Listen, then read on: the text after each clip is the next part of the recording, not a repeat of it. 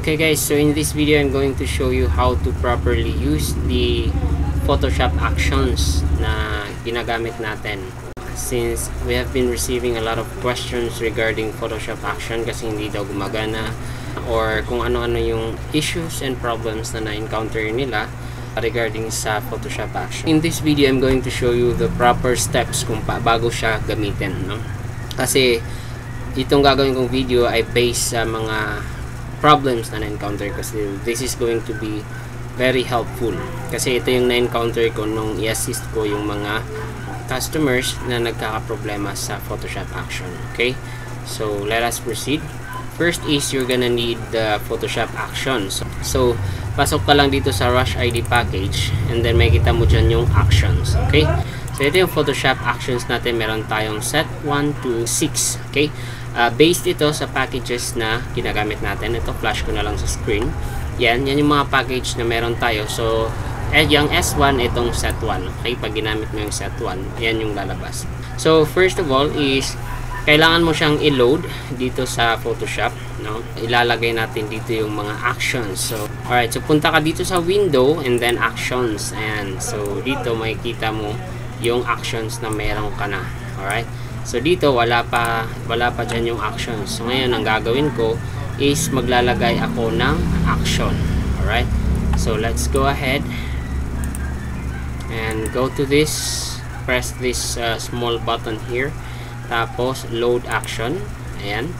So puntahan natin yung actions na kasama doon sa package natin. All right? Sana ba 'yon? Ito and then rush ID actions. So yan. So, isa-isa natin siyang ilalagay. Load. Ayan. So, meron na tayong set 1. So, continue natin. Load action ulit. So, ganyan lang yung gagawin. Alright? So, para mailagay mo yung actions. Ngayon, kung wala ka nitong package pero gusto mo gumawa ng sarili mong package, meron din tayong video niyan. Hanapin mo lang itong sundan mo para makagawa ka ng sarili mong actions. Okay? However, kung gusto mo shortcut,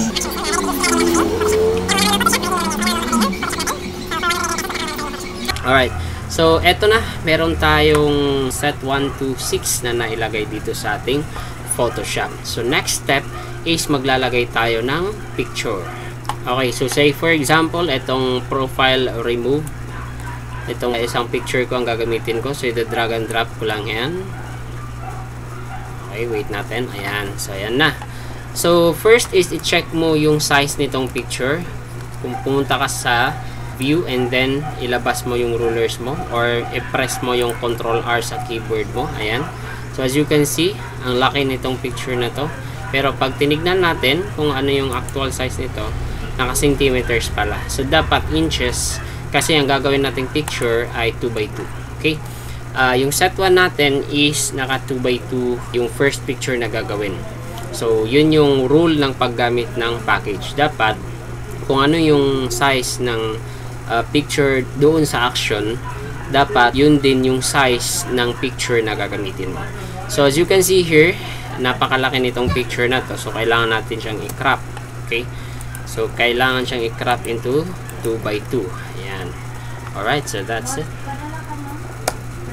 Enter natin yan. Okay? So, 2 by 2 na ba siya? Hindi pa. Next step, after mong makrop, next step is punta ka sa image, and then image size then eto gawin mo siyang 2 by 2 alright? And then make sure yung resolution mo this is very important dapat 300 siya alright?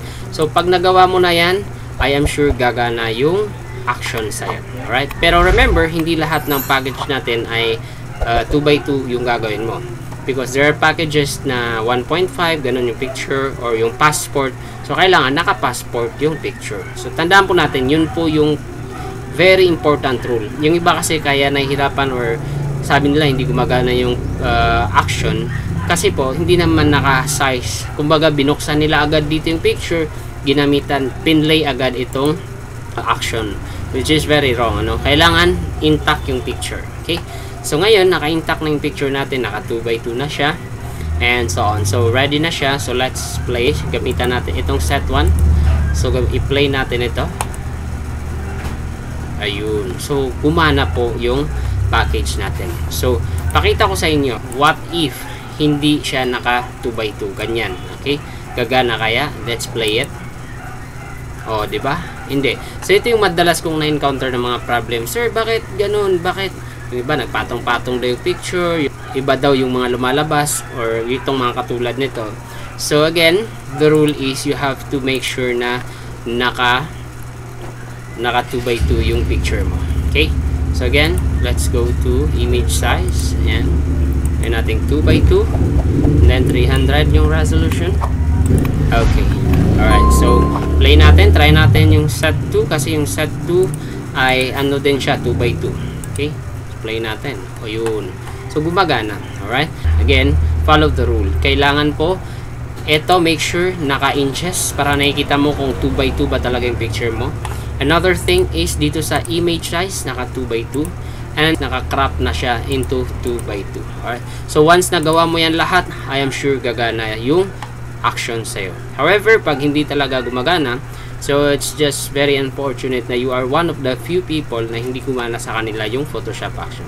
But again, very easy lang i-solve yan. You can create your own uh, action sa iyong Photoshop mismo.